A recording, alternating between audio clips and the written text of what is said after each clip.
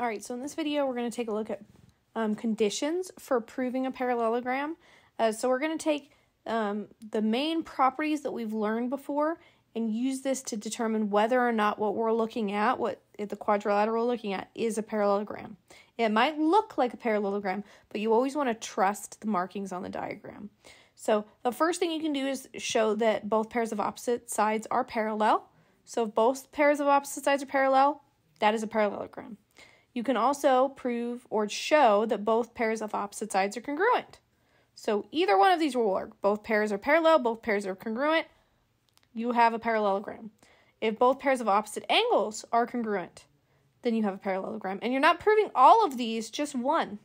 If you can prove any one of these, you have a parallelogram. Okay. Um, the fourth one, you can um, show that one pair of opposite sides is both congruent and parallel. It has to be the same side. You can't have like the top and the bottom congruent and the left and the right side parallel. That won't work. It has to be the exact same side, parallel and congruent.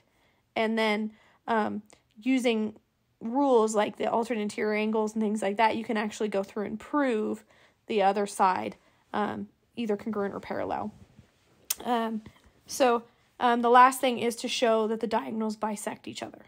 Okay, and again, it doesn't mean that the diagonals are congruent. This diagonal going from left to right is not congruent from this one going from right to left. They are not congruent to each other. They cut each other in half. Okay, they bisect each other.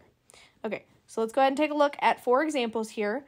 So the given information marked on each figure below classify um, um, each quadrilateral as a parallelogram or not necessarily a parallelogram. Note that each figure is drawn like a parallelogram, but you should not rely on the figure um, how the figure is drawn and determining your answers. So that means is don't trust the diagram. Don't just look at it and go, yep, that looks like a parallelogram. They all look like parallelograms. Okay. You need to look at the markings and determine whether or not you can um, determine its parallelogram from there and using those five properties from the top part of your page there. Okay. So the first one, we have this parallelogram. We have the top and the bottom are, are not congruent but parallel. Those little arrows mean parallel. All right, so we have alternate interior angles are congruent. So I can see that this angle kind of B up here, it's not just angle B, but on this side. Um, and then this angle down here congruent. They are alternate interior angles. Since we are know they're alternate interior angles, I can now say alternate interior angles are congruent. So the lines that they both they're touching here, because it's going from alternate the transversal to parallel, it's going from transversal to parallel, they are congruent. So AC is congruent to DB. Not congruent, sorry, parallel um, to DB.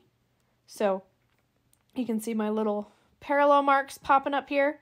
So the, um, the top and the bottom are parallel, and the left and the right are parallel. So I have two pairs of parallel sides, opposite sides are parallel. So this is a parallelogram.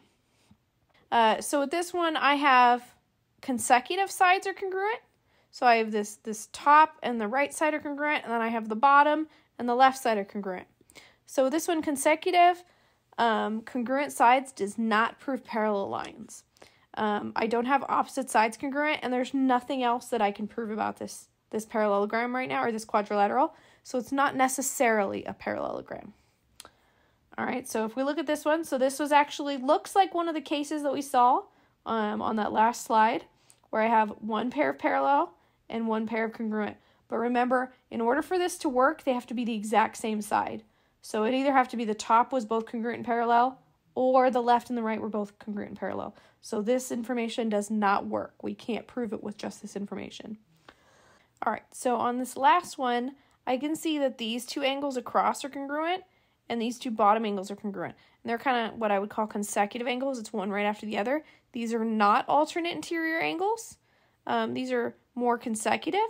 Now, if you remember the isosceles triangle theorem, I could actually prove that all opposite sides were congruent here. So, um, but that would give me something that looks just like this one up here, where I'd have kind of the, the left and the top are congruent, and then I can do the same thing here, where I can go opposites, and I can prove that the bottom and the, the right side are congruent, but that doesn't really help me at all um, as far as proving this is a parallelogram. So consecutive angles are congruent does not prove that it's a parallelogram. So this is not necessarily a par- parallelogram. Um, so that's the using the kind of five properties there to help us determine whether or not a quadrilateral is a parallelogram. I hope that helped, and I'll see you in the next video.